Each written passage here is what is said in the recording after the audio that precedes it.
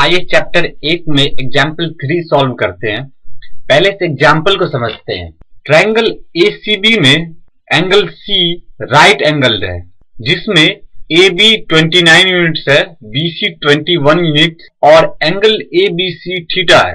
तो हमें cos square theta plus sine square theta की वैल्यू निकालनी है और दूसरे पार्ट में cos square theta minus sine square theta की वैल्यू निकालनी है।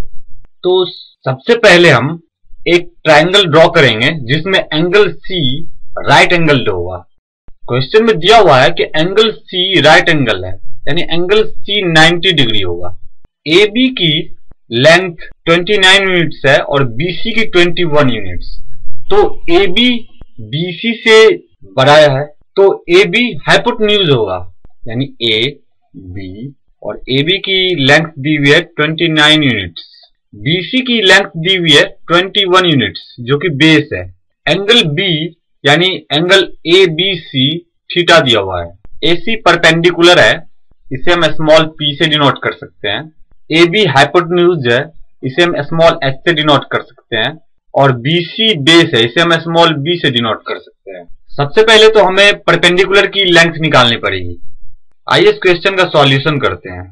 From Pythagoras theorem we have Pythagoras के थ्योरम से हम जानते हैं कि H square is equal to P square plus B square यानी कि हाइपोटन्यूज का square is equal to perpendicular का स्क्वायर प्लस बेस का स्क्वायर तो हमें यहाँ परपेंडिकुलर की वैल्यू निकालनी है. यानी कि P square is equal to H square minus B square हो जाएगा. बी स्क्वायर को हम अदर साइड ले जाएँगे तो एच स्क्वायर में से वो माइनस होगा. That is P is equal to root under H square minus B square is equal to root under H की वैल्यू दी हुई है 29 यूनिट्स तो 29 का स्क्वायर माइनस बी स्क्वायर यानी 21 का स्क्वायर 29 हाइपोटन्यूज की वैल्यू है और 21 बेस की वैल्यू है. Is equal to 841 minus 441 is equal to root under 400 is equal to 20 हम प्लस 20 वैल्यू लेंगे, क्योंकि माइनस 20 वैल्यू पॉसिबल नहीं है, क्योंकि किसी भी चीज़ की लेंथ निगेटिव नहीं हो सकती। Hence is equal to 20 units हमने p की वैल्यू काउंट कर ली है, जो कि 20 यूनिट्स है। अब हमें cos थीटा की वैल्यू निकालनी है, क्योंकि हमें cos square theta plus sine square theta की वैल्यू फाइंड करनी है। इसके लिए सबसे पहले हमें cos थीटा की वैल्यू निकालनी पड़ेगी। हम जानते कि cos theta base upon hypotenuse होता है। बेस यहाँ 21 यूनिट्स है और हाइपोटन्यूज 29 यूनिट्स है।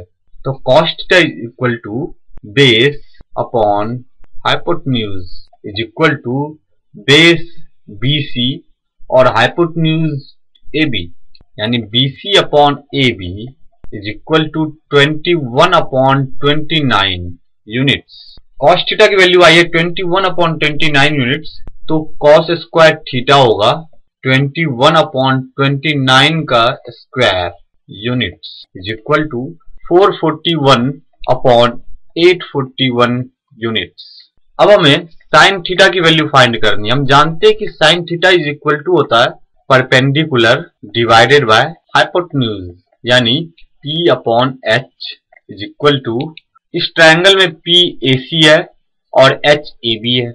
तो AC अपॉन AB AC की वैल्यू यानी परपेंडिकुलर की वैल्यू अभी हमने 20 यूनिट्स काउंट की थी, यानी 20 अपॉन 29 यूनिट्स साइन थीटा की वैल्यू जो आई है 20 upon 29 units that is sine square theta is equal to 20 upon 29 का whole square units is equal to 400 upon 841 units अब क्वेश्चन के फ़र्स्ट पार्ट में हमें निकालना है cos square theta plus sine square theta cos square theta की value अभी हमने निकाली थी 441 upon 841 plus sine square theta की वैल्यू हमने निकाली है 400 अपॉन 841 एलसीएम 841 आएगा और न्यूमरेटर में आ जाएगा 441 plus 400 is equal to 841 upon 841 is equal to 1 that is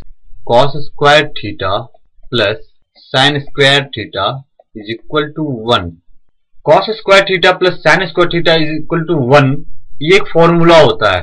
और ये किसी भी राइट ट्रेंगल में आप इसकी वैल्यू निकालेंगे तो हमेशा वन ही आएगा।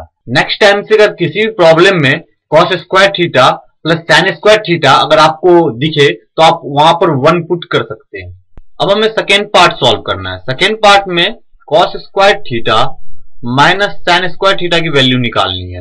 कॉस स्क्वायर थीटा की वैल्यू हमने निकाली थी 441 upon 841 minus sine square theta की वैल्यू है 400 अपॉन 841 दोनों का एलसीएम 841 841 का 841 ही आएगा और न्यूमिनेटर में आएगा 441 minus 400 is equal to 41 upon 841 cos square theta minus sin square theta is equal to 41 upon 841